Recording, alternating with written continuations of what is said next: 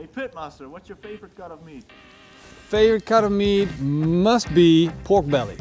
Pork belly is so diverse and I, every time I just go to my butcher, get into my Ineos Grenadier, select a beautiful piece of pork belly and he's one of the guys that always helped me come up with new crazy things. Last time we did a pork belly inside a beef belly. That blew my mind.